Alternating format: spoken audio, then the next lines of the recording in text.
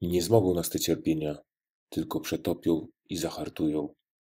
Wielkich potrzeba ofiar naszych, aby okupić szczęście i pokojowe życie tych, co po nas będą.